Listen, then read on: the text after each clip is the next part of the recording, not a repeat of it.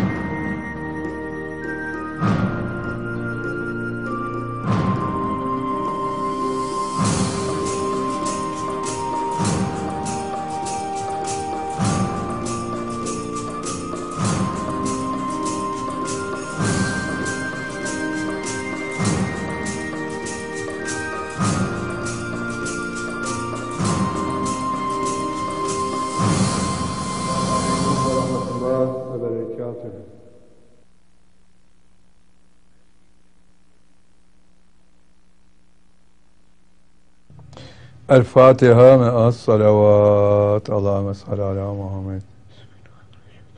بسم الله الرحمن الرحيم. الحمد لله رب العالمين. إياك نعبد وإياك نستعين. اهدنا الصراط عليهم قال المغضوب عليهم ولا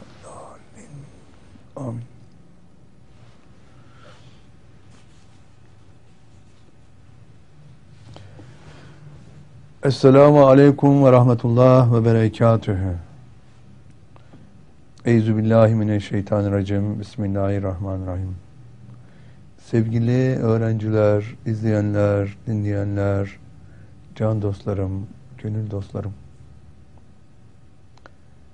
Allah'a sonsuz hamd ve şükrederiz ki bir defa daha Allah'ın bir zikir sohbetinde bir aradayız.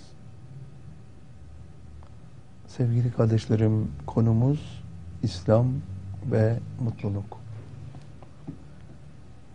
İslam mutluluğun yegane kaynağıdır. Kainatın tek dini olan İslam'ı bir muhteva olarak yerlerine oturttuğunuz zaman göreceksiniz ki mutluluğun başka bir yolu yok. Mutluluk denilen müessese sadece İslam'ı yaşamakla elde edilebilir.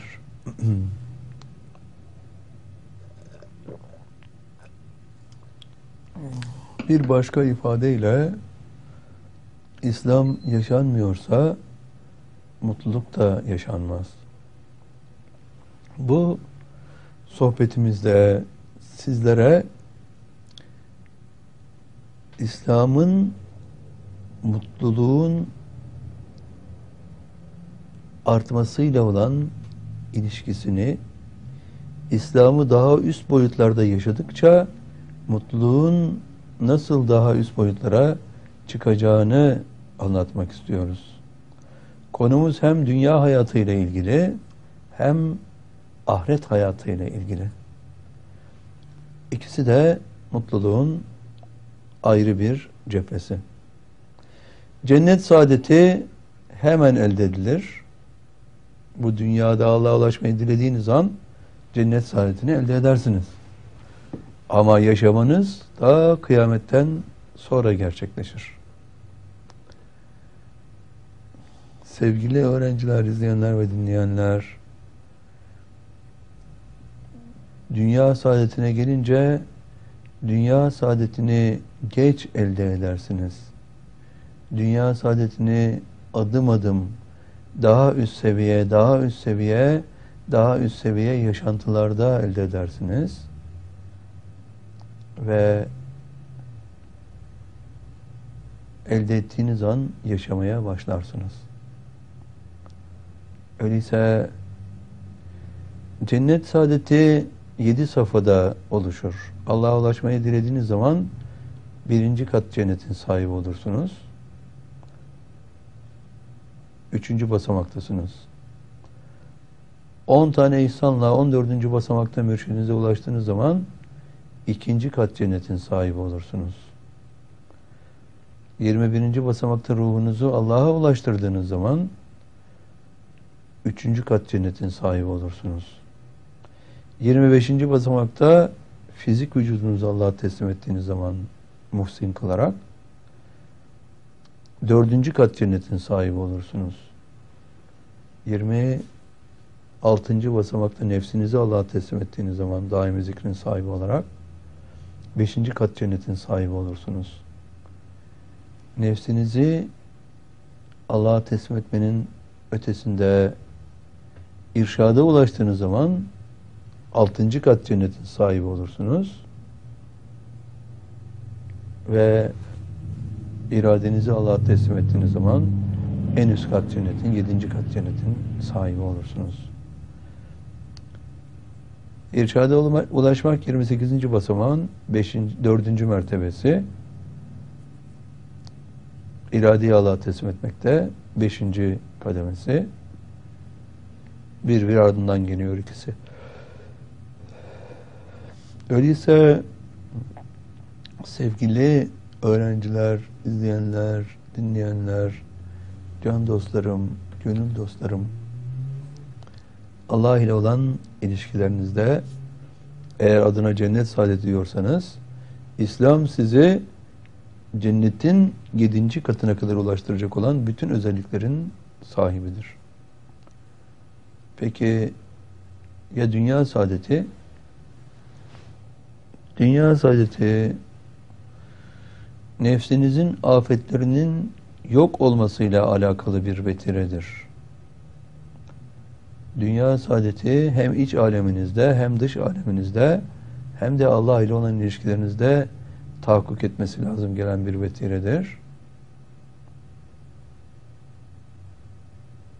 İki oldu. Üçüncü şartı da dünya saadetinin dünya saadetinin bir sulh ve sükun hali olmasıdır. Sevgili öğrenciler, izleyenler, dinleyenler, can dostlarım, gönül dostlarım,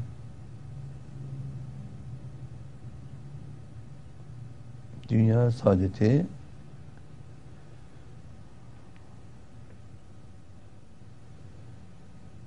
on dördüncü basamağa kadar Allah'ın yolunda olanlar için bir ayrıcalık sağlamaz. Bir mahsariyet sağlamaz. Ancak 14. basamaktan sonra nefs tezkesine başladığınız zaman dünya saadetinin adım adım tahsiline başlarsınız.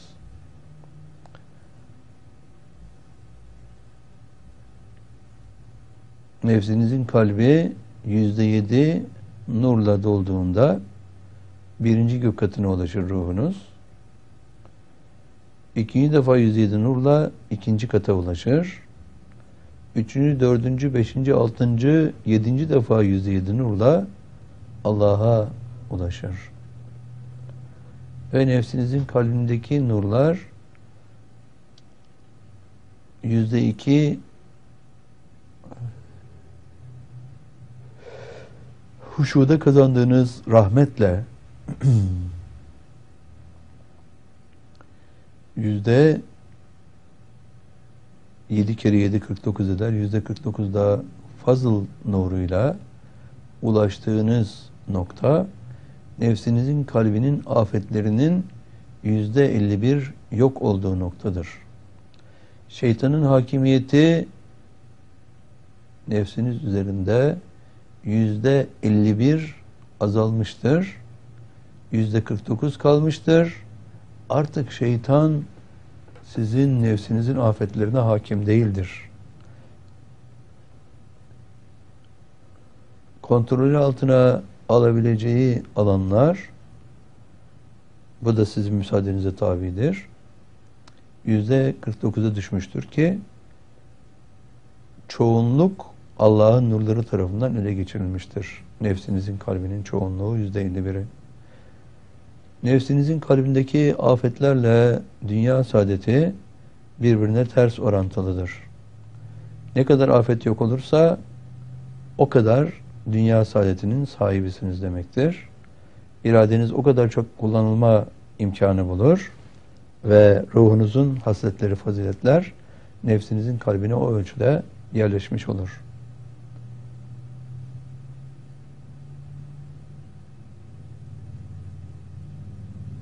Ve ruhunuz Allah'a bu standartlarda ulaştığı zaman dünya saadetinin her seferinde yüzde yedisini, yüzde yedisini, yüzde yedisini elde ederek yedi kat boyunca neticede dünya saadetinin yüzde elli birine ulaşırsınız. Ruhunuzu Allah'a ulaştırdığınız zaman dünya saadetinin yüzde elli biri de sizindir. Fizik vücudunuzu Allah'a teslim ettiğiniz zaman 25. basamakta ki bu birinci söylediğim 21. basamaktadır ruhunuzu Allah'a teslim etmeniz dünya saadetinin yüzde 51'ini sağlar size. Ruhunuzu, fizik vücudunuzu Allah'a teslim ettiğiniz zaman dünya saadetinin yüzde 91'ine kavuşursunuz. Nefsinizi Allah'a teslim ettiğiniz zamansa dünya mutluluğunuz yüzde yüz olur. Ve irşada ulaştığınız zaman dünya saadetinizin yüzde yüz devamı söz konusudur. Yüzde yüz üzerinden devamı söz konusudur. Ve iradenizi Allah'a teslim ettiğiniz zaman da dünya saadetiniz gene yüzde yüz olacaktır.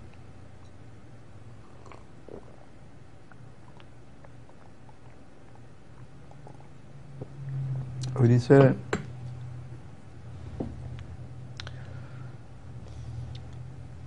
İslam'ın sizde ulaştırdığı, oluşturduğu etkiyle İslami tekamülle hem cennet saadetinin hem dünya saadetinin 28 basamaklık bir skala üzerinde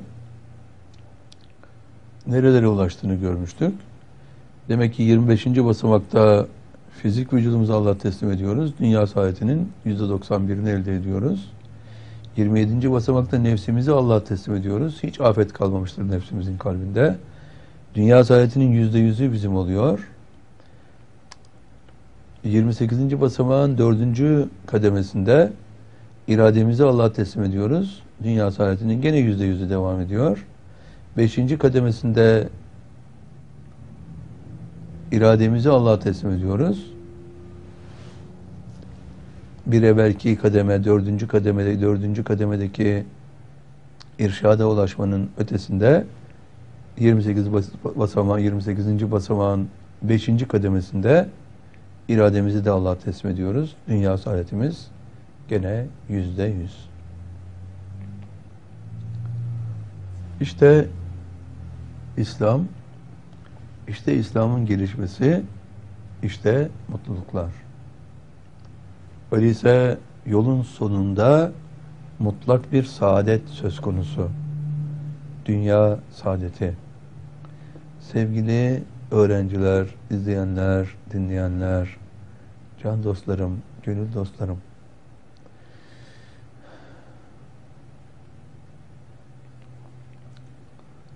İslam eşittir mutluluk. Öyleyse 28 basamak üzerinde daha yakın bir seyirle, daha yakın bir incelemeyle konumuza girelim. Birinci basamakta olayları yaşarsınız. Herkes yaşar. İkinci basamakta olaylar karşısındaki davranışlarınız allah Teala tarafından mercek altına alınmıştır. Eğer nefsinizin kalbinde hayır görmüşse davranışlarınız özellikle başkalarına kötülük yapacak hüviyette değilse, isyanda değilseniz ki Allah'a ulaşmayı dilemeyenler, başkalarını da Allah'a ulaşmaktan dileyenler isyan etmiş hüviyettelerdir. Ötekiler seçilirler. İkinci basamakta seçilirsiniz. Seçilenlerden kim Allah'a ulaşmayı dilerse onlar üçüncü basamaktadırlar. Ve Allah'a ulaşmayı dileyen herkes Allah'ın cennetini mutlaka elde etmiştir. Ve o kişi kıyametten sonra mutlaka Allah'ın cennetine girecektir. Allah'a ulaşmayı dilemişse hemen arkasından ölmüş olsa bile hiç amel yapmadan ölmüş olsa bile olsa bile bu kişi mutlaka Allah'ın cennetine girer.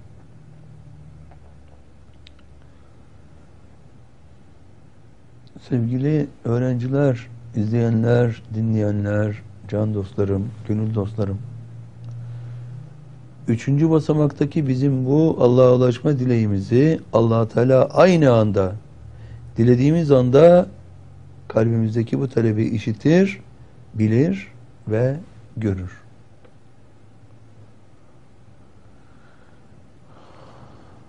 Ve Rahim esmasıyla tecelli etmeye başlar. Dördüncü basamaktayız. Ve bu Rahim esmasıyla Allah'ın tecellisi beşinci basamakta gözlerimizdeki icab-ı mestureyi alır. İrşat makamına baktığımız zaman onu artık görmeye başlarız. İrşat makamı olarak hidayetçiye baktığımız zaman onu hidayetçi olarak görmeye başlarız. allah Teala altıncı basamakta kulaklarımızdaki vakrayı alır. Ve işitmeye başlarız. İrşat makamının söylediklerinin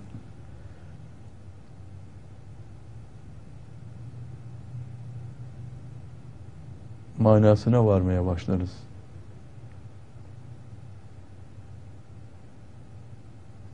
Yedinci basamakta ise allah Teala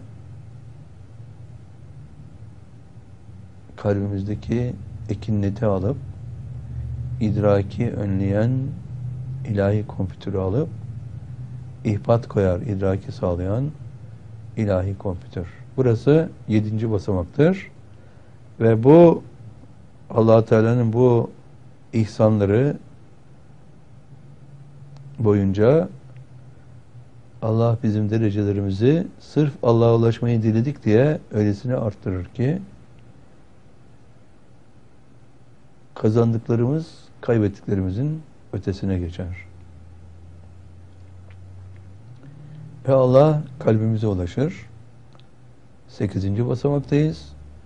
Kalbimizin nur kapısını Allah'a çevirir. Dokuzuncu basamaktayız.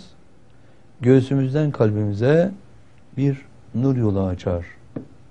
Onuncu basamaktayız. Bu noktada eğer zikir yaparsak allah Teala'dan gelen rahmetle fazl daha evvelde olduğu gibi göğsümüze gelir. Ama daha evvel olduğu gibi geri dönmez. Kalbimizin için kalbimize ulaşır. Bu allah Teala'nın göğsümüzden kalbimize nur yolunu açmadan evvelki durumumuz neydi? Zikir yapıyorsak eğer Allah'ın ismini Allah, Allah, Allah diye tekrar ediyorsak mutlaka Allah'ın katından iki tane nur rahmet ve faz isimli iki tane nur Allah'ın katından göğsümüze kadar geliyor ama göğsümüzden kalbimize yol açılmadığı için tekrar Allah'ın katına dönüyor. Seyri sefer tamamlanıyor. Yani Allah'ın katından gelen nur kalbimize ulaşamadan tekrar geriye dönmek mecburiyetli nurlar.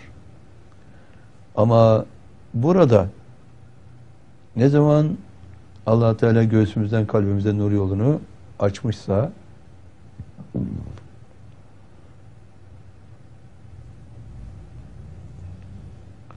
onuncu basamakta yani Allah'ın yedinci ihsanında artık göğsümüze kadar gelen nur göğsümüzden kalbinize kalbimize açılan yolu takip ederek kalbimize ulaşıyor. Rahmetle fazıl nurları. Ve fazıllar nefsimizin kalbinden içeriye sızamıyor, mührü aşamıyor. Ama rahmet partikülleri, rahmet nurları bir taşıyıcı faktör oldukları için ne yapıp edip mühürlü olan kalbimizden içeriye sızabiliyorlar bu aşamada. Eğer gözümüzden kalbimize yol açılmasaydı hiçbir zaman kalbimize ulaşamayacaklardı. Sızmaları da mümkün olmayacaktı. Ama şimdi sızabiliyorlar ve sızıntı başlıyor. Nefsimizin kalbinde 11. basamakta sızma başlıyor. Rahmet sızması. Ve 12. basamakta nefsimizin kalbinde yüzde iki nur oluşuyor ve huşu sahibi oluyoruz.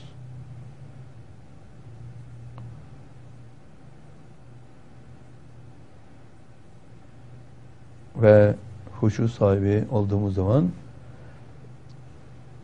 mürşidimize ulaşmak konusunda derin bir isteğin sahibi oluyoruz. Vazgeçilmez bir tutku oluyor bizim için.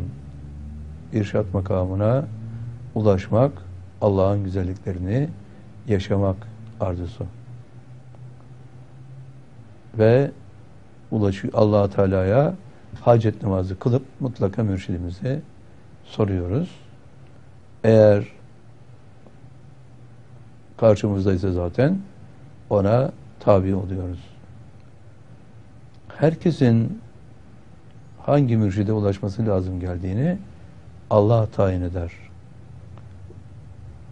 Ve böylece insanlar allah Teala'dan sonra herkes mürşidini görür ve o mürşide 13. basamakta mürşidini görür. 14. basamakta da tabi olur.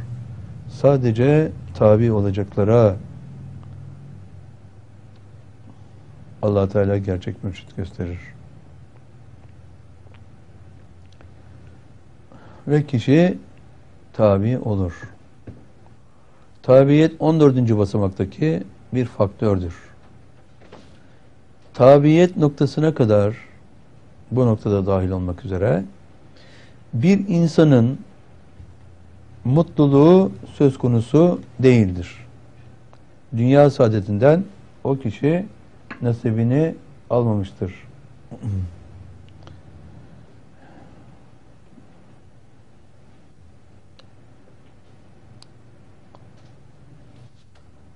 Sevgili öğrenciler, izleyenler, dinleyenler, dünya saadetini yaşayabilmeniz için nefsinizin kalbindeki afetlerin azalması lazım.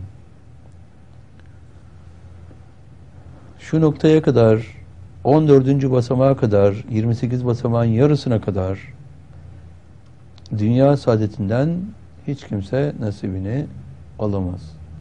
Çünkü nefsinin kalbinde henüz hiçbir değişme olmamıştır. Afetler azalmamıştır. Belki yüzde iki oranında kişi bir mutluluk yaşayabilir. Çünkü nefsinin kalbindeki rahmet partikülleri yüzde ikiye ulaşmıştır. Nefsin kalbinde yüzde iki artık Allah'ın bütün emirlerini yerine getiren, yasak ettiği hiçbir fiili işlemeyen bir hüviyet taşıyor. Sevgili öğrenciler, izleyenler, dinleyenler, can dostlarım, gönül dostlarım.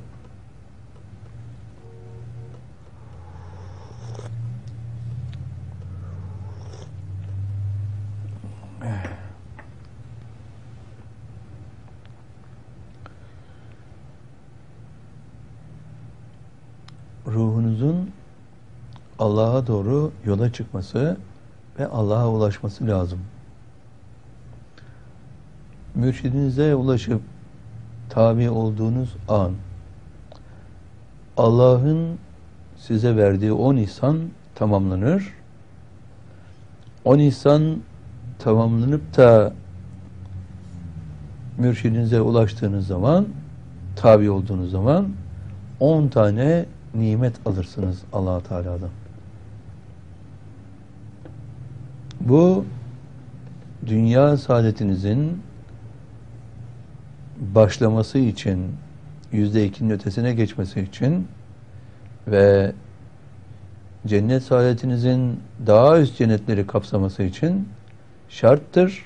Zaten Allah'a ulaşmayı dileyen bir insanın dilemişse mürşidine ulaşmaması da mümkün değildir. ruhunu Allah'a ulaştırmaması da mümkün değildir. Meğer ki o kişi oraya ulaşamadan evvel ölsün. İşte sevgili öğrenciler, izleyenler ve dinleyenler 14. basamakta birinci nimet başınızın üzerine devrin imamının ruhu gelip yerleşir. Tabiyetinizi mütakip hemen bu iş gerçekleşir. Ve ondan sonra allah Teala kalbinizin mührünü açar. Nefsinizin kalbinin. Mührün içindeki küfür kelimesini alır dışarıya atar. Kalbin içindeki küfür kelimesini alır dışarıya atar. Kalbin içine iman kelimesini yazar. Burada mümin olursunuz.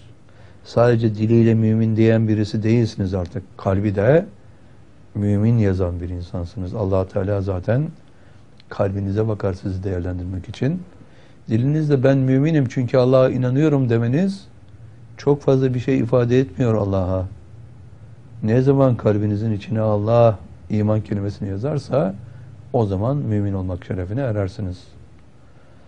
Dördüncü ihsanı allah Teala'nın affedersin nimeti demek ki kişinin mümin olması.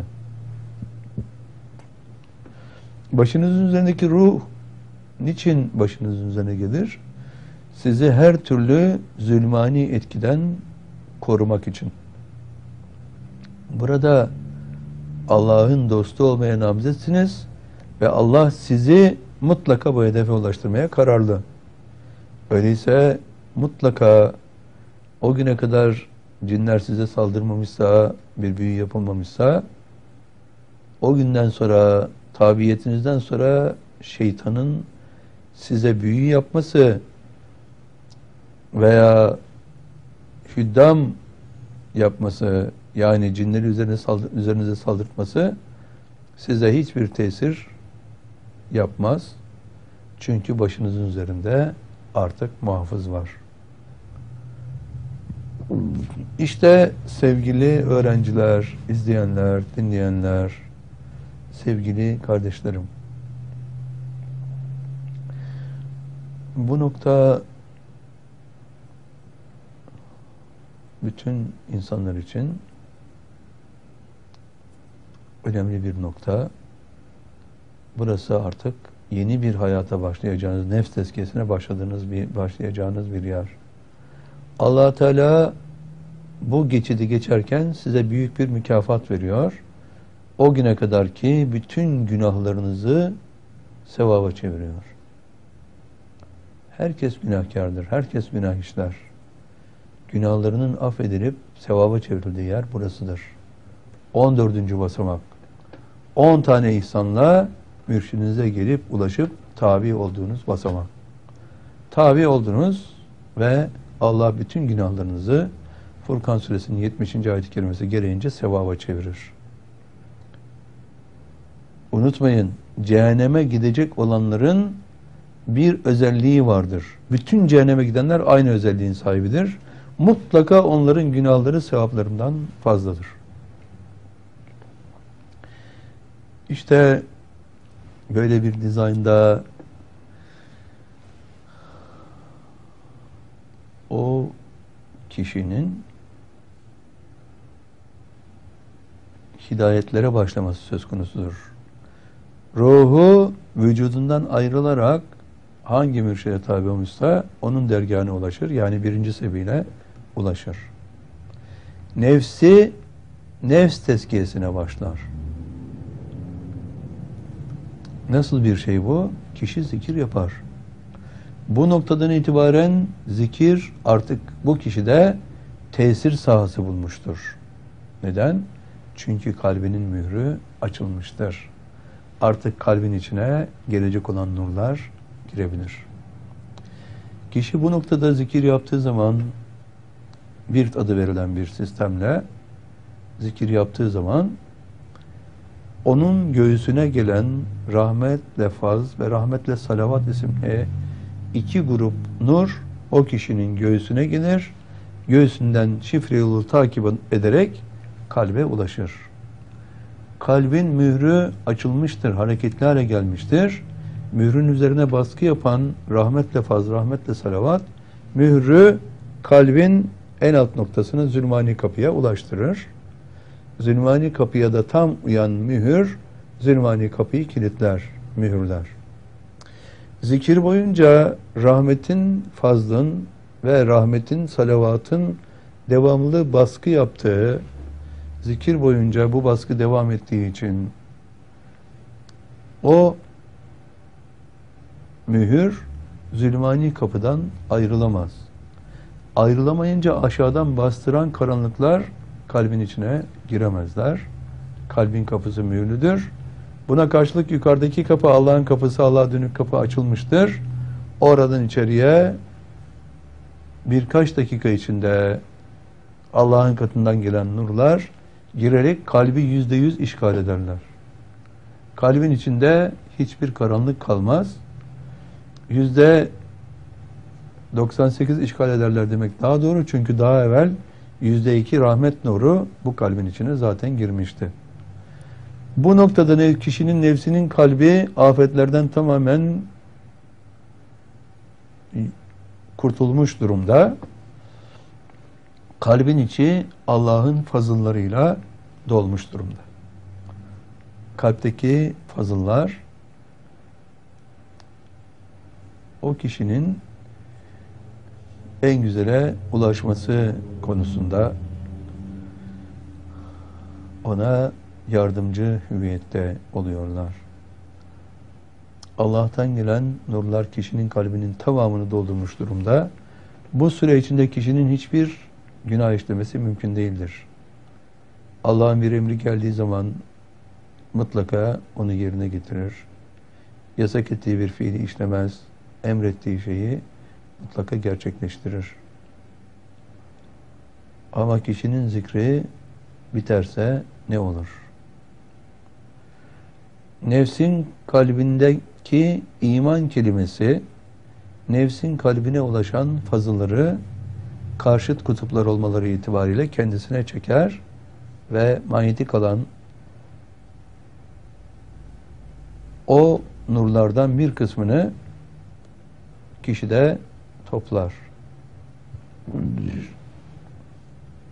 Kişinin nefsinin kalbinde fazıllar birikmeye başlar. Bu fazıllar 1, 2, 3, 4 derken yüzde yüzde yediye ulaşırlar. Yüzde yediye ulaştığı gün kişinin nefsinde teskiyenin ilk kademesi tamamlanmıştır. Nefsi emmare. Nefsin kalbindeki afetlerin, nefsin kalbindeki birikimin yüzde yedisi artık afet değildir. Nefsin afetleri öfke, kin, kıskançlık, haset, düşmanlık, iptilalar gibi afetlerin özelliği nedir? Allah'ın bütün emirlerine karşı çıkmak, yasak ettiği bütün fiilleri işlemek. Nefsin afetleri bu hüviyette yaratılmışlardır. Bu sebeple şeytan onların hepsine tesir edebilir. Çünkü şeytanın da istediği bunlardır. Ama ruhun hasletleri onların tam aksidirler. Allah neyi emretmişse onları mutlaka yaparlar, yapmak isterler. Yasak ettiği fiili ise hiçbir zaman işlemek istemezler. Ama akıl fizik vücuda Allah'ın yasak ettiği bir fiili işlemek için imkan verirse, emir verirse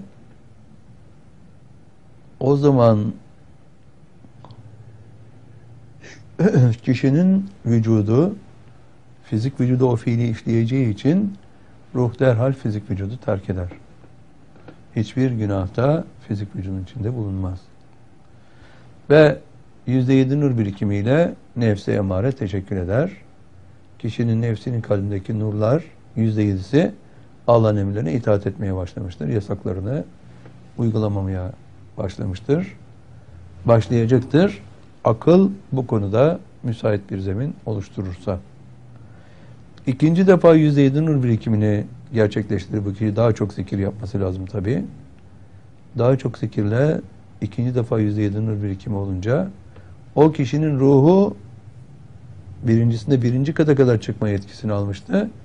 Şimdi ikinci defa yüzde yedi nur birikiminde, fazilet birikiminde ikinci kata çıkma yetkisi alır. Ruh ikinci katta nefsi levvame, kişinin nefsini kınadığı bir dönem. Günah işlemek istemiyor. Bu sebeple nefsini kınıyor günah işledikçe. Biliyor ki kendisi istemediği halde nefsi bu günah işlemesine sebebiyet vermiştir.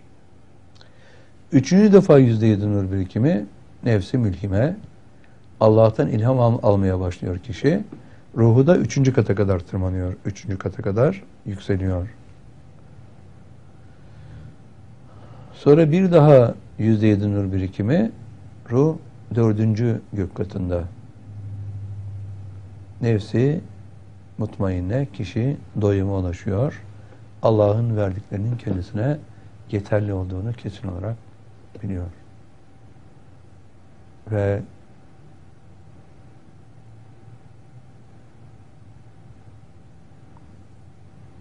daha sonra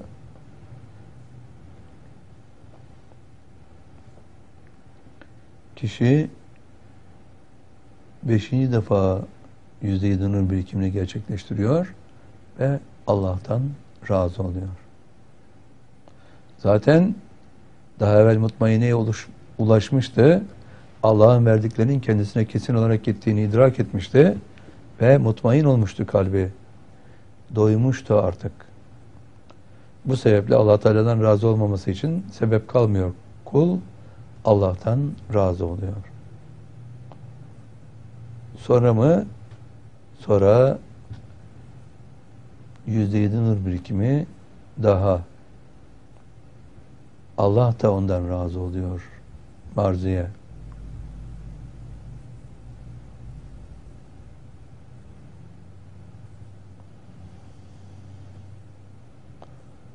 Ve daha sonra kişi yüzde yedi daha nur birikimini gerçekleştiriyor.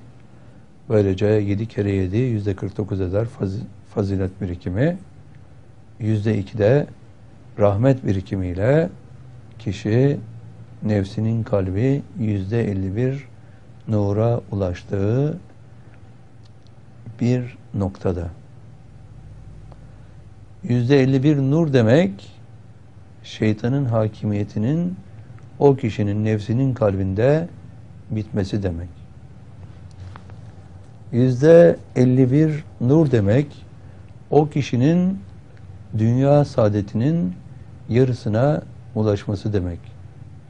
Nefsinin kalbinde geri kalan karanlıklar, afetler, artık işlenen fiillerin yüzde ellisini işleyebiliyorlar.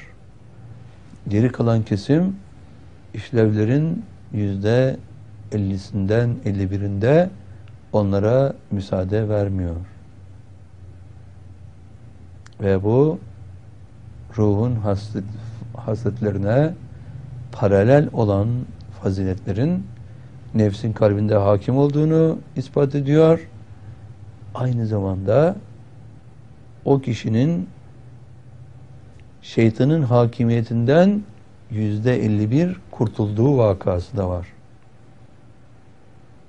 Şeytan sadece afetlere tesir ettiği için, kişi de şeytanın hakimiyetinden yüzde 51 kurtulduğu için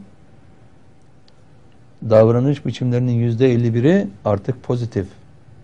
Allah'ın emirlerinin yerine getirilmesi, yasak ettiği fiillerin işlenmemesi şeklinde tecelli ediyor. Yüzde 51 davranışların yüzde 51'i.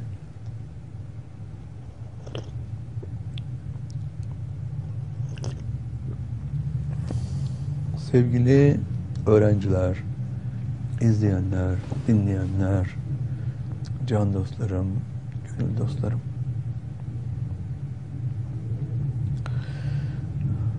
Böyle bir dizaynda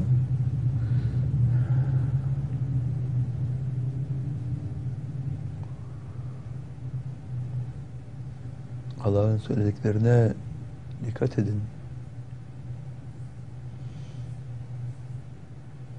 Günlük yaşantınızın yüzde elli biri artık Allah'ın emirlerine itaatle geçiyor. ve Allah'ın her emrini yerine getirdikçe mutluluğu yaşadığınız için dünya saadetinizin de yüzde ellisine ulaştınız. Cennet saadetlerine bakalım. Allah'a ulaşmayı dilediğiniz üçüncü basamakta birinci kat cenneti elde ettiniz. Mürşidinize ulaşıp tabi olduğunuz 14. basamakta ikinci kat cenneti elde ettiniz. İkisinde de dünya saadeti yoktu. Ama şimdi 21. basamaktasınız. Üçüncü kat cenneti elde ettiniz. Dünya saadetinde %50'den fazlasına sahip oldunuz. Yüzde 51. Ne olacak? Ruhunuz Allah'ın zatında yok olacak. Fenafillah makamının sahibi olacaksınız. Ruhunuz Allah'a ulaşmakla kalmayacak. Allah'a teslim olacak. Nefsinizin kalbindeki nurlar yüzde 51'den yüzde 61'e kadar yükselene kadar ki giderek daha çok zikir yapacaksınız. Bu makamdasınız. Fena makamı. Bundan sonra fena makamında dahil olmak üzere yedi tane makam aşacaksınız. Bu yedi makamı birer birer geçeceksiniz. Birincisi fena fillah. Allah'ın zatında ifna olma makamı, yok olma makamı. Yüzde yedi nur, yüzde on nur ilave ediliyor nefsinizin kalbine. Velayet makamlarında Kur'an'ın ruhuna girmiş olduğunuz için nurların dizaynında artış var. Ve nefsinizin kalbindeki nurlar daha çok zikir yaptığınız için yüzde 61'e ulaştığı gün allah Teala size bir taht ihsan eder. Enam suresinin 127. ayet-i kerimesi gereğince. Onlara orada Allah'ın indinde teslim yurdu vardır diyor allah Teala. Altın tahtlar. Böyle bir taht allah Teala'nın indi ilahisinde teslim edildiği için kişi bu tahtın sahibi oluyor.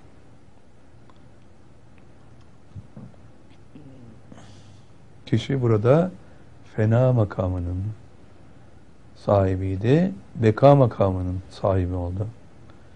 Kişinin zikri giderek artıyor, artıyor, artıyor. Bir gün kişi daimi zikrin sahibi olmak üzere yola çıkan kişi bir de bakıyor ki zikri her gün 12 saatten fazla yapmaya başlamış. Burası o kişinin yeni bir makama ulaştığını gösterir. Zühd makamı. Kişi zahit oluyor. Zikri günün yarısından daha fazla ve nefsinin kalbindeki nurlar yüzde yetmiş birden itibaren kişi günün yarısından daha fazla zikir yapan birisi zahit zikrini her gün günün yarısından daha fazla yaptığı için Allah'a bunu ispat ettiği için zikirsizliğe, zikirsizliğe karşı zahit olduğunu, ona değer vermediğini, zikre değer verdiğini Allah'a ispat ettiği için kişi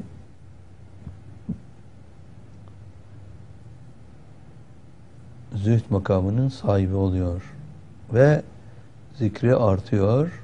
Yüzde yetmiş birden 81'e kadar burada artıyor.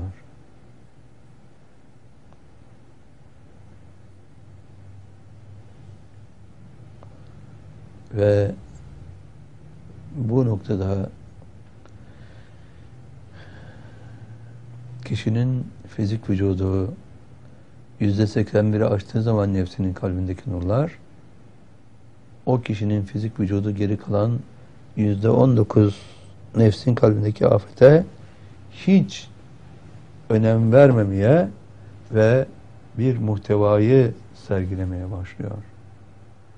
O noktada o kişinin fizik vücudu nefsin kalbinde yüzde 19 karanlık var olmasına rağmen, afetler var olmasına rağmen, sanki nefsin kalbi tamamen hasletlerle doluymuş gibi, faziletlerle doluymuş gibi yüzde yüz, fizik vücut Allah'ın bütün emirlerine itaat etmeye, yasak ettiği hiçbir fiile,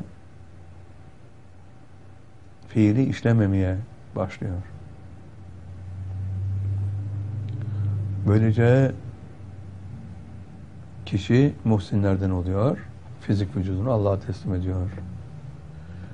Burası dördüncü kat cenneti ifade eder. Ve bundan 14 asır evvel bütün sahabe Allah'a ulaşmayı da dilemişlerdi. Kainatın en büyük mürşidine ulaşıp teslim olmuşlardı. Hepsi ruhlarını Allah'a ulaştırmıştı. Hepsi fizik vücutlarında Allah'a muhsin kılarak teslim etmişlerdi.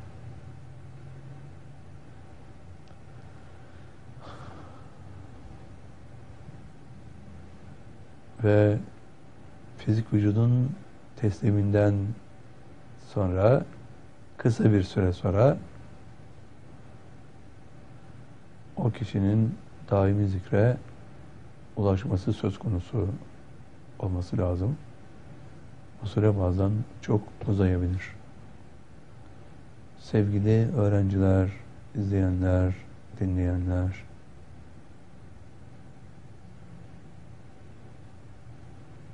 allah Teala'nın dizaynında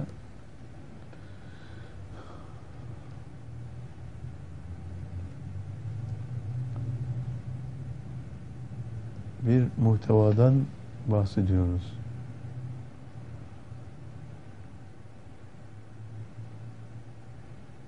Kişinin daimi zikre ulaşması. Kim daimi zikre ulaşırsa yedi tane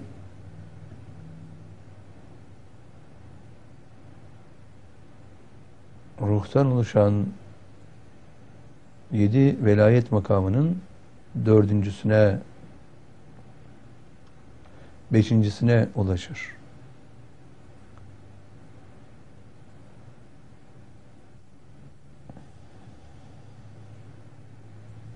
Ulul makamı, altıncısı ihlas makamı, yedincisi salah makamı.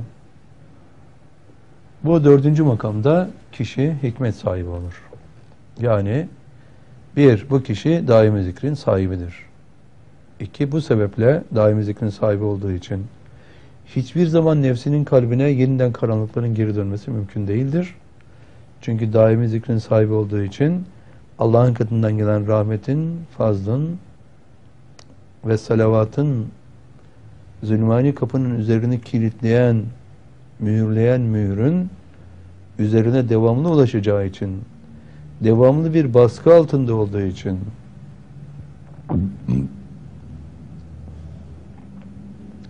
nefsin kalbinin zulmani kapısı hiç açılmayacaktır.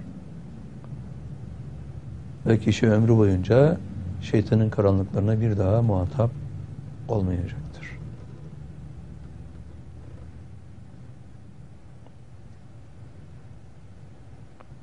Sevgili öğrenciler, izleyenler, dinleyenler, can dostlarım, gönül dostlarım.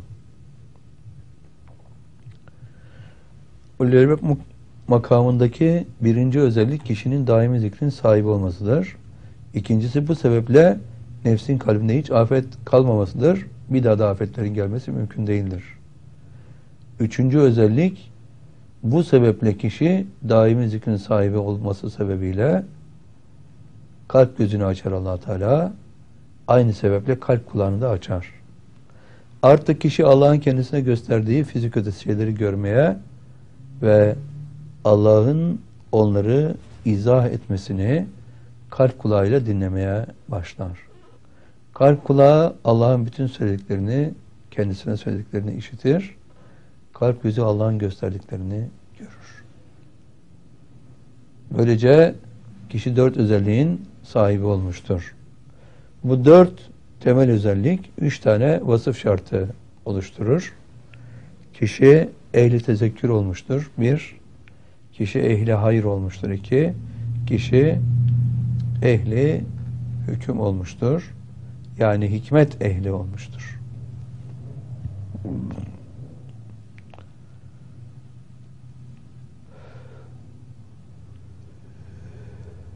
Ne demek ehli hayır?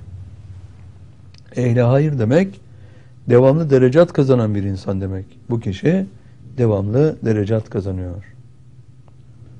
Ehli tezekkür ne demek? Allah ile devamlı konuşma imkanının sahibi olan kişi demek.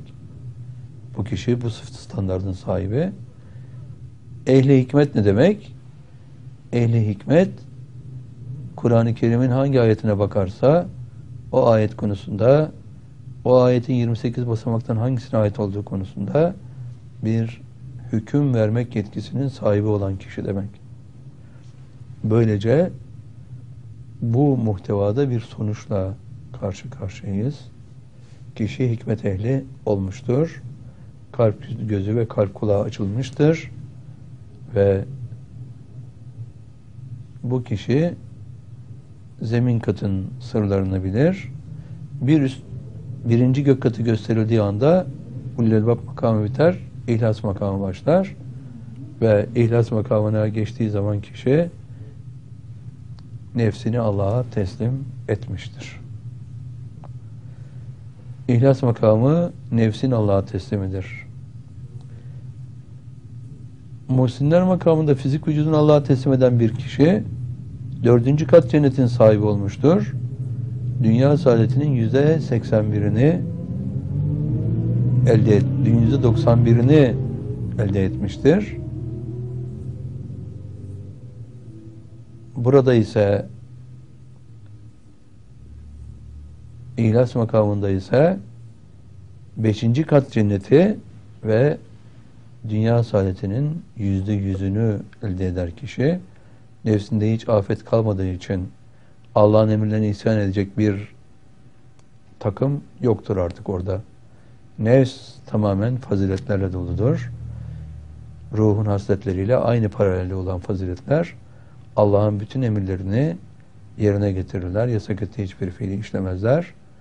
Akıl Allah'ın bütün emirlerine itaat eden, yasak ettiği hiçbir fiili işlemeyen, işletme emri vermeyen bir özellik kazanmıştır.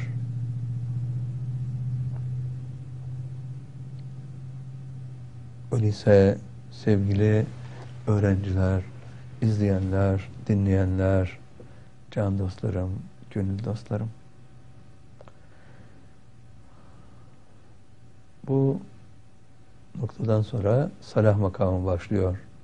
Kişi yedi tane gök katı gösterilir kişiye ve yedinci katın yedi tane yedinci alemi gösterildikten sonra ne zaman kişi sitetin müntahayı görürse o kişi ihlas makamını bitirir ve tövbe-i nasuha davet edilir allah Teala tarafından. Kişi tövbe-i nasuhunu hemen tamamlar Allah'ın söylediklerini tekrar eder ve o zaman allah Teala o kişiyi salah makamına geçirir. Salah makamının birinci mertebesi tövbe-i nasuhtur. Tövbe-i nasuh, ihlastan salaha bir kapıdır. Salah makamının birinci mertebesinde, birinci kademesinde kişiye tövbe-i nasuh tatbik edilir. İkinci mertebesinde o kişinin bütün günahları örtülür mürşidine tabi olduktan sonraki günahları, ondan evvelkiler zaten sevaba çevrilmişti.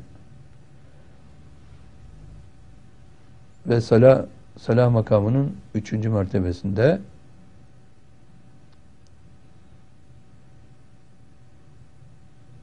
o kişinin üzerinde, başının üzerinde salah nurunu oluşturur allah Teala. Dördüncü mertebesinde de bütün günahlarını, dördüncü kademesinde bütün günahlarını o örttüğü günahları sevaba çevirir. Bu noktada kişi irşada ulaşmıştır. İrşada ulaşan kişi artık iradesini Allah'a teslim edebilecek olan özelliğin sahibidir.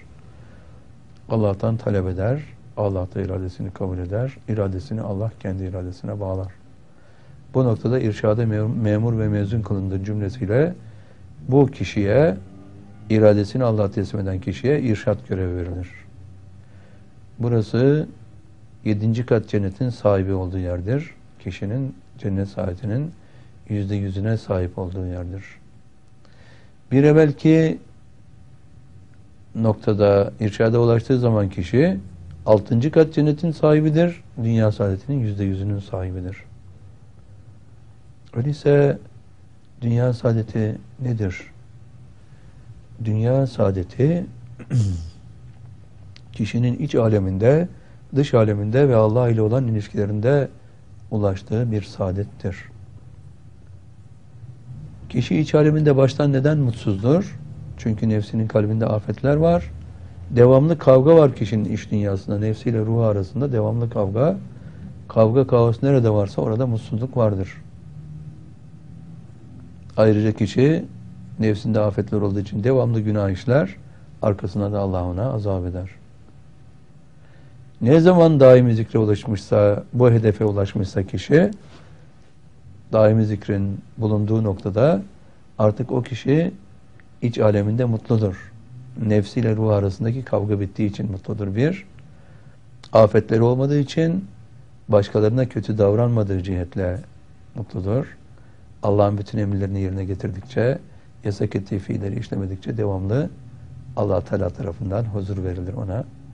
Kişi iç dünyasında kesintisiz bir sulh ve sükun hali yaşar. Bu sebepten mutludur. Peki dış dünyasında kişi baştan neden mutsuzdu? Çünkü nefsinin kalbinde afetler olduğu için başkalarına karşı yanlış davranışlar sergileyebiliyordu. Yani başkalarının kalbini kırıyor, onları kötü davranıyor. Arkasından da allah Teala mutlaka ona azap ediyordu. Bu sebeple kişi huzursuz bir, arkasından kendisine kötü davrandığı kişi ondan intikam alıyor. İntikam aldığı zaman bir defa daha üzülüyor bu kişi. allah Teala ona bir günah işlediği için gene azap veriyor. Ve daha sonra bu kişi de başka birisi kendisine bir zarar verdiği zaman, intikam aldığı zaman kendisinden bu kişi nefsi buna dayanamadığı için öfkeleniyor, üzülüyor ve intikam almak sevdasına düşüyor. İntikamını aldığı zaman yeni bir günah işlediği için Allah onu yeniden azaplandırıyor. Gene huzursuz kişi. İntikamını alamazsa bu sefer alınamamış intikam yani kin oluşuyor ve kişi bu sebeple de huzursuz. Yani intikamını alsa da huzursuz, almasa da huzursuz. Ama bu kişi daimi zikre ulaştığı zaman bunların hiçbirisi yok. Hiç kimseye kötü davranması mümkün değil. Bu sebeple Allah ona hiç azap etmiyor kötü davranması söz konusu olmadığı için hiç kimse ondan intikam almıyor. Gene bir sıkıntıda değil kişi. Kendisi de kimseden intikam almıyor. Gene huzurlu. İntikam alamadığı için şuuraltı birikim oluşması da mümkün değil. Bu kişi dış aleminde de kesintisiz bir sulh ve sükun içinde yaşıyor. Gelelim Allah ile olan ilişkilerine. Başlangıçta hem Allah'ın emirlerini yapmıyordu hem de yasak ettiği fiilleri işliyordu. Her seferinde Allah azap ediyordu. Ama şimdi Allah'ın bütün emirlerini yapıyor. Allah ona huzur veriyor. Allah'ın yasak ettiği hiçbir fiili işlemiyor. Onun için de huzur veriyor allah Teala. Bu kişi Allah ile olan ilişkilerinde hem emirler cephesinde hem yasaklar cephesinde mutlu. İşte bu dünya mutluluğunun bütünüdür. İşte bu ahiret saadetinin en üst katıdır. Yedinci gök katıdır. Bundan 14 asır evvel bütün sahabe İslam'ı ve İslam'ın getirdiği kademeler boyunca gelişen bu muhteşem saadeti yaşadılar, yaşadılar, yaşadılar. Sevgili öğrenciler, izleyenler, dinleyenler, can dostlarım, gönül dostlarım, sevgili kardeşlerim. Allah Teala'nın hepinizi İslam'ın bütününü yaşayarak bu sonsuz mutluluğa ulaştırmasını Yüce Rabbimizden dileyerek sözlerimizi inşallah burada tamamlamak istiyoruz. Allah hepinizden razı olsun. El Fatiha ve az salavat.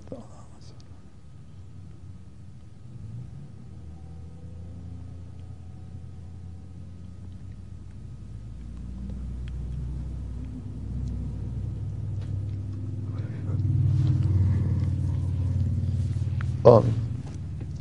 Esselamu Aleyküm ve Rahmetullah ve Berekatühü.